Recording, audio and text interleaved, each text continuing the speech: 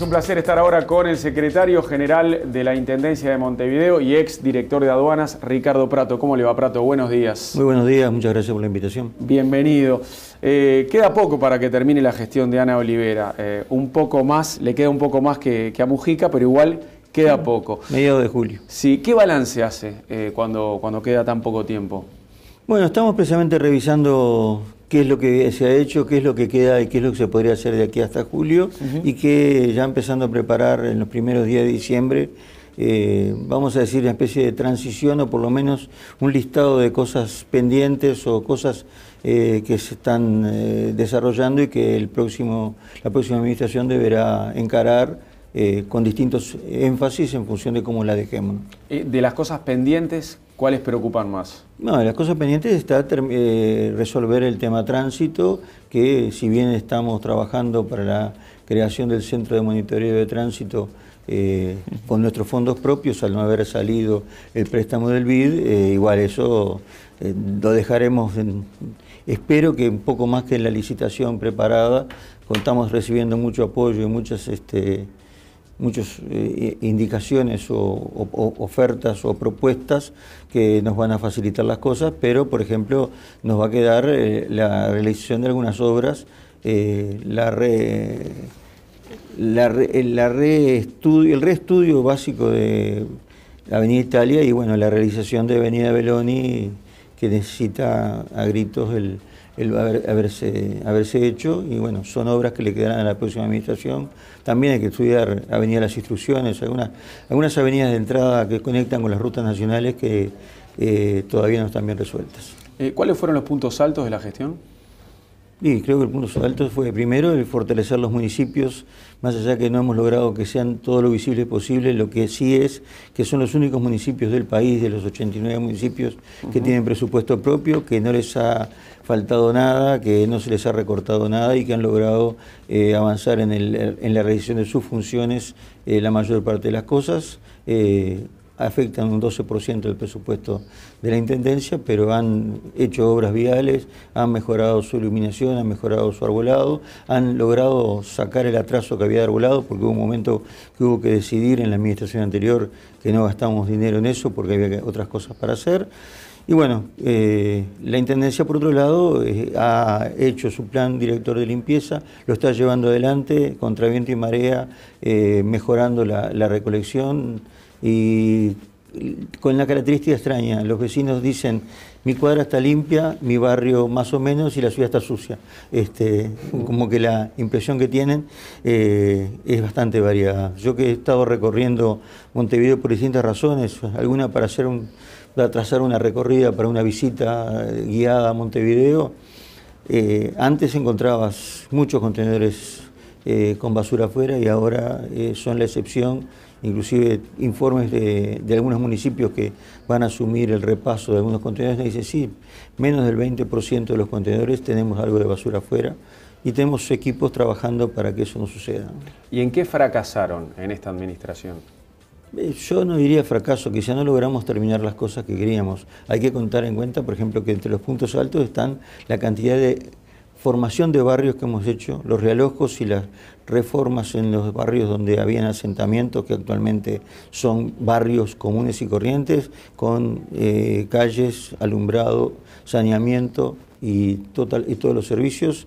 Eso estamos en 1.472 realojos. Pero más allá de lo que no se terminó, siempre hay un talón de Aquiles en una gestión.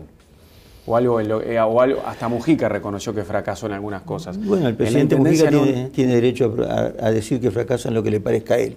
La Intendencia no, no tenemos nada que hayamos fracasado, que no hayamos llegado a los, a los estándares que queríamos. Bueno, ha habido una relación conflictiva con el sindicato que se ha manejado a partir del convenio que se hizo en, el año 2012. Pues más allá de algunos tironeos, en la actualidad eso está eh, es lo que marca la cancha cuando el sindicato plantea algunas cosas que no serían adecuadas para la fecha, eh, se les recuerda, bueno, pero ¿quieren denunciar el convenio o seguimos con el convenio salarial que tenemos, que creo que es el mejor de los convenios dentro de los trabajadores públicos? Bueno, ¿y cómo evalúa todo, lo, todo el afer que se generó con el corredor Garzón?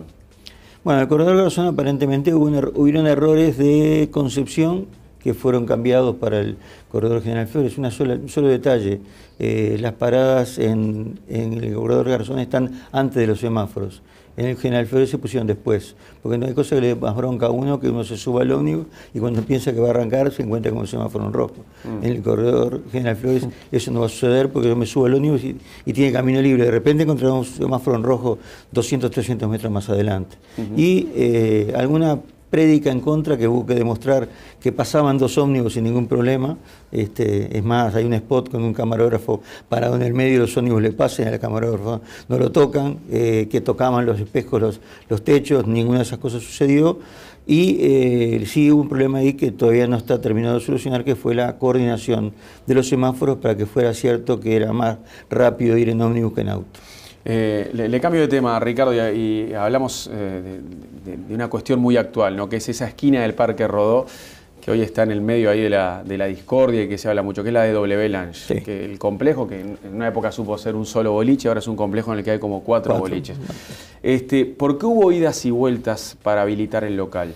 El tema es que empieza todo con una denuncia de parte del eh, concesionario eh, este, este, lugar tiene un concesionario que es un señor de apellido Gilardoni, que eh, obtuvo la concesión en 1989, concesión que se ha ido prorrogando y que debería haberse llamado a licitación antes, pero que el tiempo dio que el señor Gilardoni lo alquiló a lo que es la gente que maneja W Lange, Vindimar, Sociedad Anónima, pero son personas eh, de carne y hueso que las conocemos como operadores de la noche y operadores en todo el país con un conjunto de treinta y pico de locales de espectáculos y, gastronómicos en todo el país, o sea, no son ningunos advenedizos en el campo, sino que trabajan, trabajan muy bien, que tenían el local eh, arrendado con un precio bastante caro con relación a lo que el concesionario le paga a la Intendencia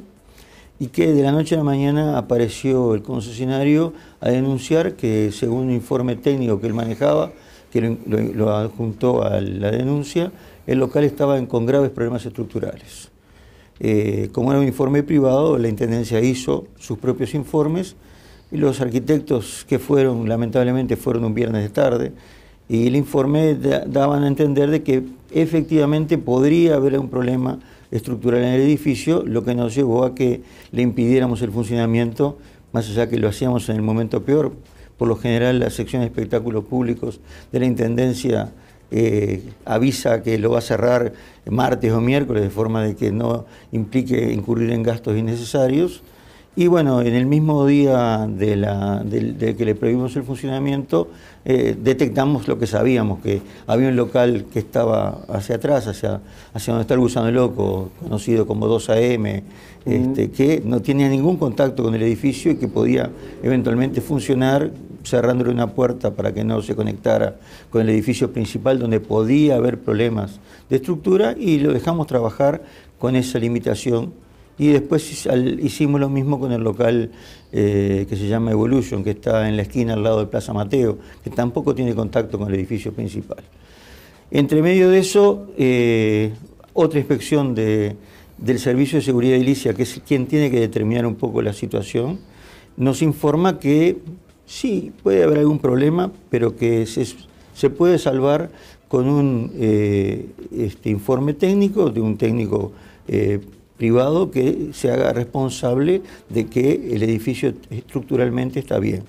Eh, los inquilinos, vamos a decir así, de Blanche, cumplieron con eso, presentaron ese informe y eh, la División de Espacios Públicos, que quien controla eh, ese espacio público y edificaciones, que controla los edificios, nos dice, bueno, si habiendo presentado un informe que dice que un arquitecto se hace responsable, que además dice que no, no, no ve las eh, eventuales problemas eh, estructurales y además hizo, eh, está hay un conjunto de fotos mm. de, los cateos que hicieron para verificar si había o no había problemas, eso dio lugar a que se levantara la, la prohibición de funcionar. En el medio de eso aparece, aparentemente empujado por una denuncia que hizo el concesionario principal, eh, Bomberos nos comunica el 5 de noviembre que la declaración jurada que habían presentado el 30 de octubre de que el edificio se mantenía en las mismas condiciones y con las mismas medidas contra incendio, eh, eh, había caducado, no se le autorizaba.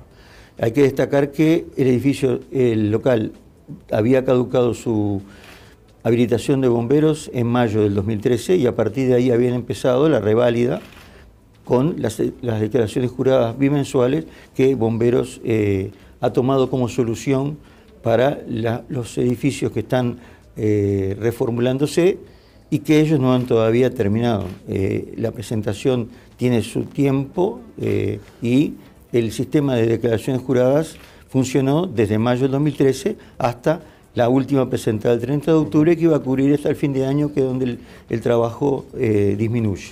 Eh, Ricardo, ahora la solución es que el boliche funcione con bomberos adentro. Claro, esa solución está de acuerdo a la ordenanza. ¿Eso es transitorio? Y eso es, este, la, ordenanza establece que un local de espectáculos públicos tiene que funcionar con la certificación de bomberos y en caso de no tenerla y haberla iniciado el trámite, con bomberos presentes en el lugar. Eso pasa en montones de locales, ya que Bomberos está muy atrasada en la certificación final de los trámites que tiene pendientes. O sea, eh, hay ahí un problema eh, serio que se, se complicó porque al haber primero establecido un técnico habilitado que Bomberos eh, tiene una lista, son 1.750, pero no todos trabajan y todos tienen suerte en sus trámites.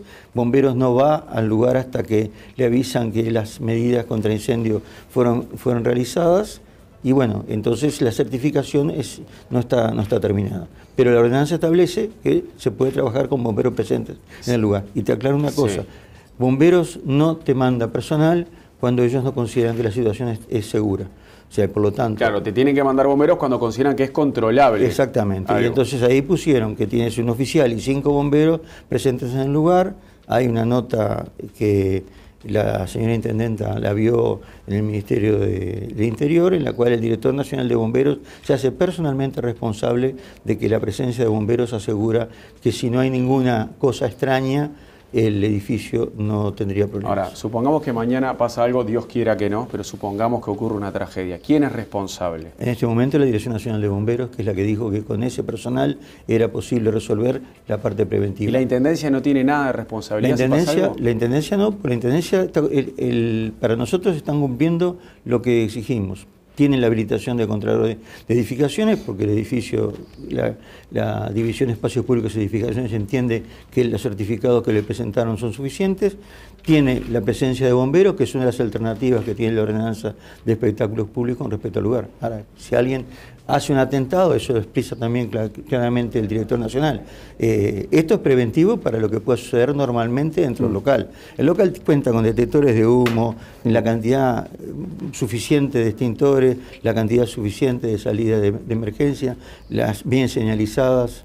Eh, Está hecho todo para que funcione correctamente. Y mientras el boliche funciona con esos bomberos adentro, tiene que trabajar para cumplir con los requisitos. Claro, el único requisito que tiene con bomberos para que le den la certificación es la instalación de eh, un depósito de agua de 14.000 litros para asegurar la presión, cosa que por primera vez se la piden ahora hace muy poco tiempo. El local venía funcionando sin eso, con 37 extintores y cuatro bocas de incendio, pero que dependían de la presión, de la presión que tuviera la OCE. Los bomberos han, incorporado a su ordenanza la existencia de eh, depósitos exclusivos de agua para evitar tener que llevar ellos también las cisternas, porque si no, la alternativa, cada vez que va un tren de incendio, van a cisterna con ellos. Lo que a varios locales, por ejemplo, Guambia, que con 130 personas de público le pedían 4.000 litros de agua, lo hicieron imposible, porque eso es un gasto que no se puede afrontar. Eh, yo tengo entendido que la bomba para presionar, para presionar las bocas de incendio que le pidieron eh, están en el entorno de los 40 mil dólares. Ahora, W es un boliche muy reconocido, en una esquina privilegiada de Montevideo, va muchísima gente y obviamente al ir tanta gente hay más temor de que pueda ocurrir algo. Pero ¿cuánto boliche chico en Montevideo, cuánta cueva funciona sin autorización de bomberos y sin habilitación? Ninguna. ¿Ninguna? Ninguna. Solamente alguno que nos abre de gato y que demoramos aproximadamente una semana en detectarlo. Todos los locales de espectáculos públicos tienen que sacar el permiso una vez por mes. Y cuando van a sacar el permiso tenemos que controlar que tengan todos los documentos al día.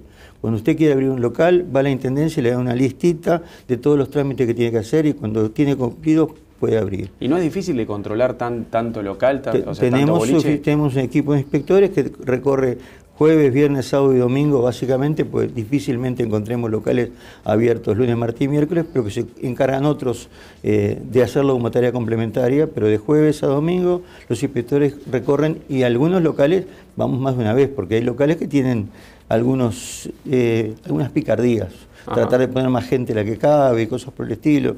Eh, no, abrir, es un clásico. No abrir la puerta de seguridad para ahorrarse, un, ahorrarse una persona de seguridad. Bueno, eso se, se recorren todos en el correo de la, en el correo del fin de semana, a todos vamos y detectamos a veces algún gato que... Detectan algún gato. Detectamos alguno que, bueno, que le dura, le dura ese fin de semana. Cuando se detecta algún gato, ¿se, se ordena el cierre en el momento Exactamente, sí, sí, el cierre inmediato. Sí, sí. Cuando lo encontramos, lo cerramos. ¿Y los requisitos son muy exigentes? No, son eh, los elementales para cualquier comercio. Tener la habilitación de locales comerciales, tener la habilitación de regulación alimentaria, porque en casi todos hay, venta de comida, tener la habilitación de, instalaciones mecánicas y eléctricas por las instalaciones que tienen el local. por supuesto, la certificación de bomberos, que es necesaria. La certificación de bomberos es necesaria para toda cosa que no sea la vivienda unipersonal. El resto, hasta los edificios de papel horizontal tienen que tener la certificación de bomberos. Y bueno, eh, hacer un depósito de garantía, traernos el plano, eh, pedirnos la fijación de capacidad y mensualmente venir, pagar el impuesto si les corresponde, en el caso que tengan baile, o si solamente tienen música, sacar el permiso mensual. Y los locales que son de fiestas, eh, en tanto no hay, no hay cobros eh, por, este, por espectáculo, no, no, tiene que pagar el impuesto a los espectáculos públicos, le damos la chance de, sacar permisos cuatrimestrales, siempre y cuando tenga la documentación que le cubra los cuatro meses.